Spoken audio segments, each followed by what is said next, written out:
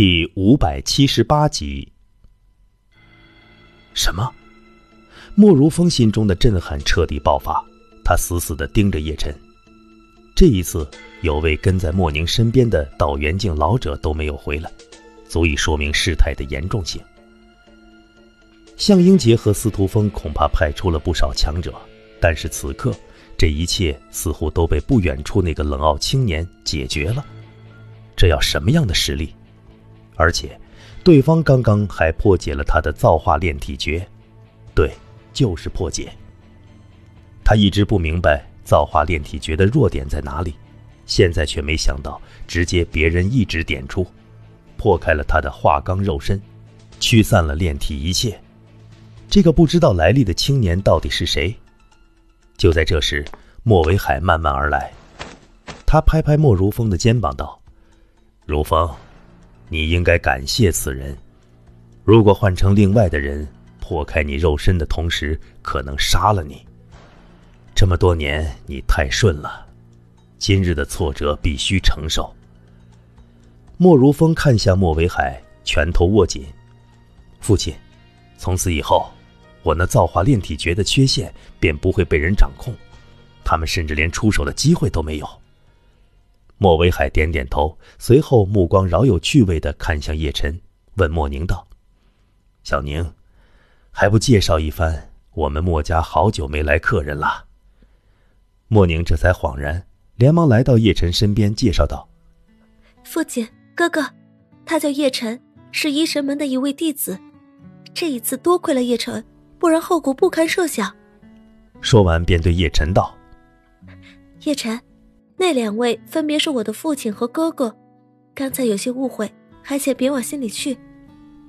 叶晨点点头，对于墨家，他丝毫不在乎，唯一在乎的便是韩元，他必须借助墨家见到韩元。莫宁似乎感受到叶晨用意急切，又道：“外面风大，我们一起进去吧。哦，对了，父亲，叶晨这次来墨家，其实有件事需要麻烦。”我们进去再说。莫维海深深的看了一眼叶辰，还是点头。宫殿之中金碧辉煌。叶辰算是感受到墨家的底蕴，地面铺着的石头尽是灵石，价值斐然。墙壁上的任何一处东西放在拍卖会上，绝对是价值连城。上古墨家果然名不虚传。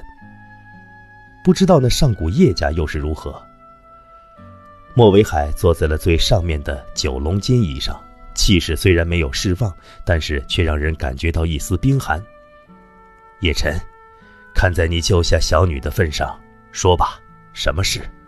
只要不是太过分，我莫家都会答应你。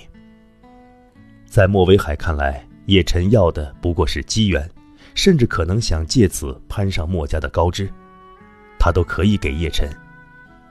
但是如果叶晨想要莫宁，绝不可能，这是他最大的限度。而叶晨也不废话，一步跨出，极其认真道：“我知道墨家和韩家的关系，今日我来并不是为了墨家，而是上古韩家。我要见那上古之战中唯一活下来的韩云。”此话一出，莫维海和莫如风一怔，身躯更是僵硬。他们知道叶晨可能会提无理的要求，却不知道这么无理。韩云可是被韩家封闭保护了，毕竟关乎当年的事情，太严重。甚至听说韩云因此变成了一个狂暴的疯子，把所有提及上古之事亦或者血灵族的人全部杀了，不管好坏，甚至还有韩家之人。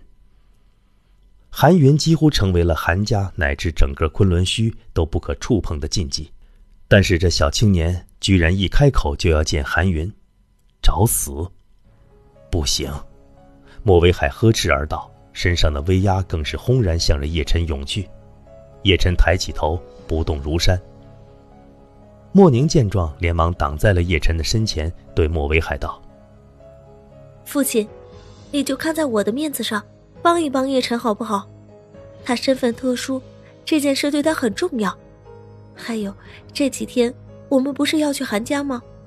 带上叶晨就好了。至于到了韩家之后，我们就不用再管了。莫维海见自己的女儿居然还站出来帮叶晨说话，气不打一处来。小宁，有些事你还不懂，这小子不知来历就要见韩云，说不定会给我们墨家带来灭族的危险。我虽然不知道这小子的目的是什么，但是对我们墨家绝对百害而无一利呀。说完，叶晨便是凝视着叶晨，大手一挥：“叶晨。”你走吧，我会让下人给你准备一些上好的丹药以及灵石，也当是还你救下小宁的情。送客。随着莫维海一声令下，瞬间有两位老者来到叶晨的身边，两人都是道元境。他们看着叶晨，开口道：“叶先生，不要让我们难做，请吧。”叶晨没有动，而是抬起头凝视着高台之上的男人。莫维海，请你搞清楚，这件事和我无关。我叶晨是在救你们莫家。此话一出，那两个墨家老者脸色大变。这小子大逆不道，竟然敢直呼家主的名字，而且还是这种态度，简直是找死。再看莫维海，果然脸色变得铁青，甚至透着一丝愤怒。他的权威可不是一般人能够质疑的。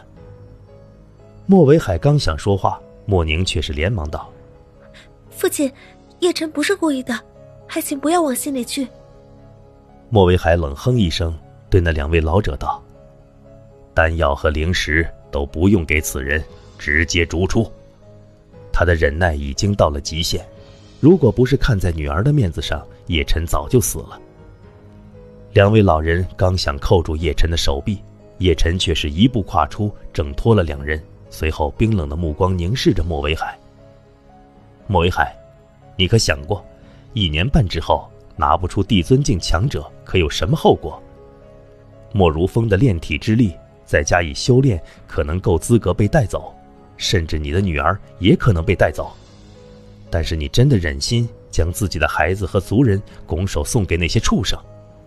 你墨家的执念，从上古到现在。甚至在莫宁身上实验，可惜失败了。别以为我不知道你们心中的算盘，我可以很准确的告诉你，这场浩劫唯有我叶辰可以帮你。你若不信，就当我从来没有来过墨家。叶晨的声音响彻整个宫殿，透着无上威压，气势太强了，强大到连那两位道元境强者也失神片刻。而莫宁和莫如风却是死死地盯着叶晨。虽然不知道叶晨在说什么，但是他们隐约之间嗅到了不对的气息。送走他们？为什么要送走？两人顺着叶晨的目光看向父亲莫维海，却发现莫维海平静的脸庞不在，而是极其的狰狞和惊骇。他们从没有见过父亲如此失态。莫维海能不失态吗？关于血灵族的上古之事，只有寥寥数人知道。每一位都是大家族和顶级宗门掌控无上权势的人，整个墨家也只有他有资格掌控。但是现在面前的青年居然完全说出，这不是玩笑。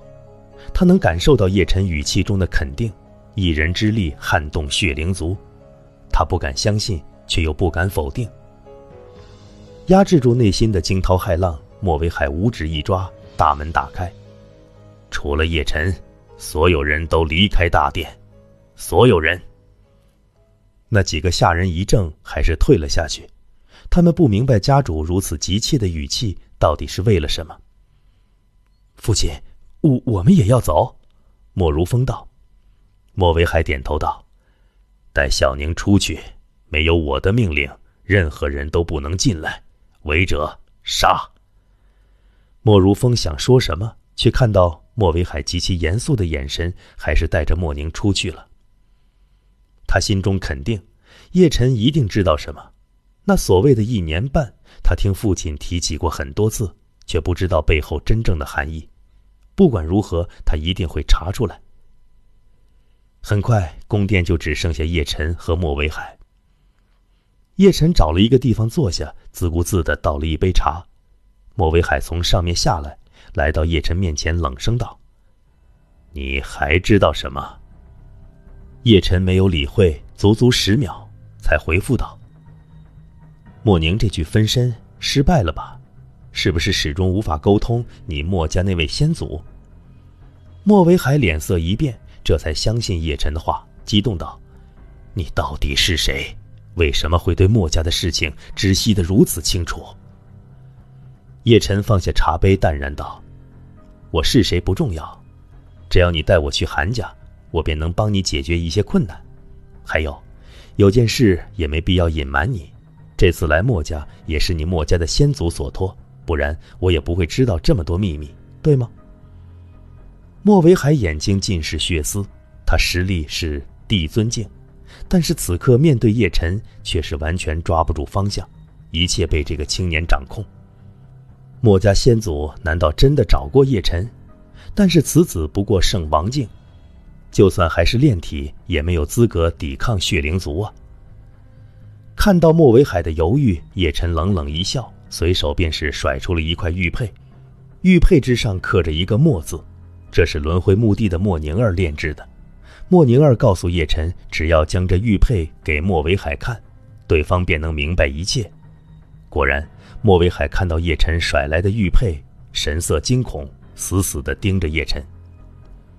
数秒之后，直接拱手道：“叶先生，刚才是我不敬，还请原谅。”这玉佩可是先祖之玉，持有此玉便是见到先祖。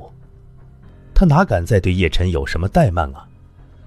我不想和你再废话，韩云，我必须尽快见到。你可有方法？叶晨道。莫维海犹豫了几秒，点头道：“叶先生，去韩家不难，但是想要见到韩云，只有一个办法——血灵秘境。”叶晨听到后面四个字，眸子一缩，难道这血灵秘境和血灵族有关系？不在昆仑虚？